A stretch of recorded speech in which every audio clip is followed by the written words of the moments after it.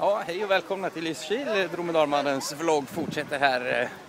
Det är alltså musselloppet här idag där Lysekils alla 3 till 7-åringar springer stadsparken runt. Och så har vi Arne Hägerfors och Rickard Skoglund på scenen.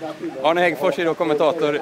Vad Rickard Skoglund gör på scenen det, det vet vi inte riktigt men ja, han står där bredvid Arne. Ha det gött! Snart kör vi igång Eurovision. Det var han som hakade på torrlöparna.